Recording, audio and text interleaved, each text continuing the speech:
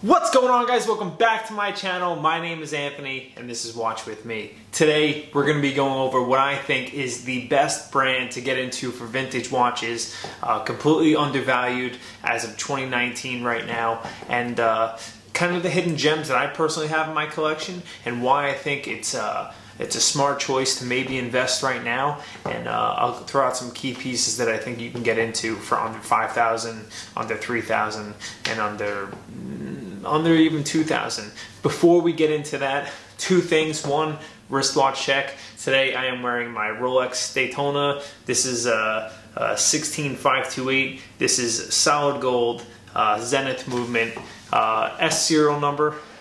Dates back to 93 94 the other thing i'd like to talk about is i noticed that we're at uh, around 70 subscribers it really means so much to me. Thank you all for subbing. Uh, it's been it's been a lot of fun, and uh, I will be doing a giveaway at 100 subscribers. Uh, it's going to be some cool watch swag. All you have to do is follow me on Instagram, sub to this, and uh, drop a comment down below. Uh, but we'll go over in the next couple weeks what I'll be giving away and uh, what you exactly have to do to win the prize. All right, so what brand is uh, being undervalued right now and a great sleeper brand to get into uh, right now in 2019. That brand is Breitling.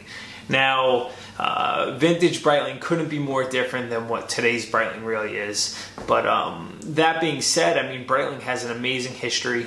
They came out in 1884. Leon Breitling started the company, uh, eventually passed it on throughout the family, uh, sold it to the Schneider family, and then in recent years they sold off to CVC Capital.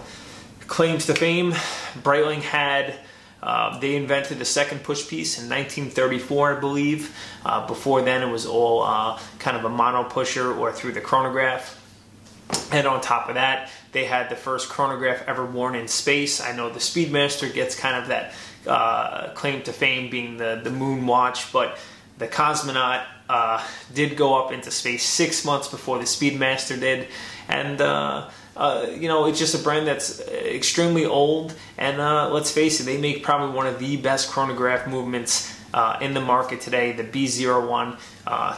347 parts, 46 jewels or so. It's a very robust movement, but very reliable. And I think uh, that's why Tudor uses it now in their Black Bay line.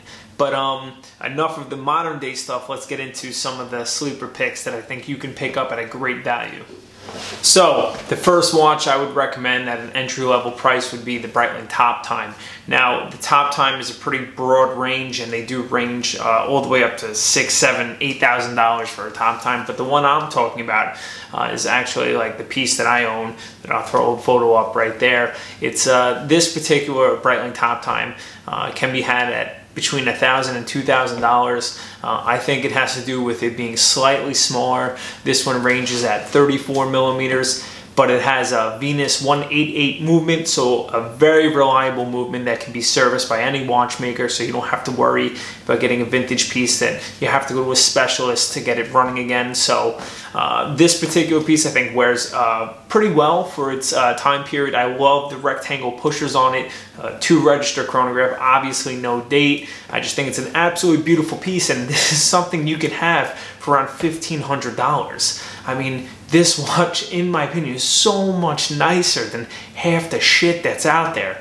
God, if I have to watch another YouTube video on friggin' Vincero or Movement watches, and you see these guys out there uh, talking about, you know, how they have 15, 20 of them, 15 or 20 is more expensive than my Breitling Top Time, and this is a this is a piece of real history and real style to it. So that would be my first choice into really getting into the vintage scene and getting something pretty cool.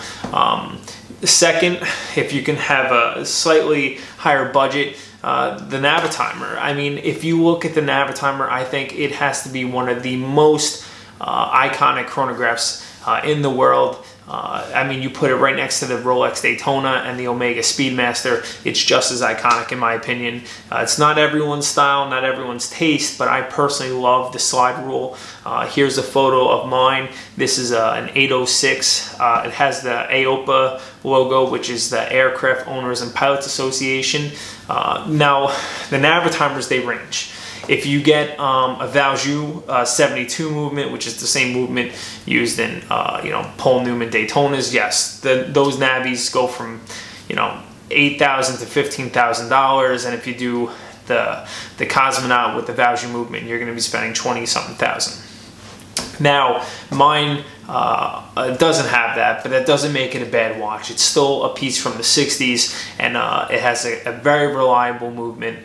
Um, I believe it's also a Venus movement, and uh, these can be had between three thousand and, and, and four thousand dollars in good shape too. Uh, mine has the beads of rice bezel, which I personally love. Uh, so uh, again, another amazing watch with so much history, such an iconic uh, design, and can be had for under four thousand dollars. I don't think you can beat that. Um, and then eh, as you go into some of the more sought after pieces like the the real Super Oceans uh, from the from the 60s and 70s, I mean those are very expensive, but those are just just two models I think you can't go wrong with with Breitling. Uh, there's many more out there. I recommend you know do your research. Uh, go on Instagram. I believe uh, the gentleman's name is Watch Fred. Uh, he probably has the most amazing vintage Breitling collection I've ever seen. Uh, but uh, uh, there's also a website, the Breitling Museum. You can kind of uh, look at all the watches at all the years they were made. But in my opinion, if you're really looking to get into vintage watches and you don't want to spend the premium with the Rolexes and the Tudors and the Universal Geneves and things like that, look at Breitling. Amazing history, beautiful designs, and at a great price point. So those are my uh, those are my two picks that help you guys out with that I personally own as well. So you know I'm not just giving you advice. I listen to my own advice and I have them and I love them. But uh, that's all I got. Do me a favor, leave a comment down below. Uh, what are some brands that are, are, a tremendous value right now in the vintage scene? What uh, what do you own? Uh, what do you think about the, the watches I chose? Uh, if you like the video, give it a thumbs up. I'd appreciate it. And until next time, take it easy, guys.